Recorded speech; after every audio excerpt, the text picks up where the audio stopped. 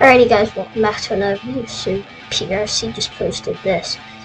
What's happening in our Fourth of July fireworks show? There will be a fireworks show multiple times throughout the day located at the new lake in town Springfield. This looks amazing. Look pretty realistic. Um, I'll be trying to stream. So go on here, it just shows you.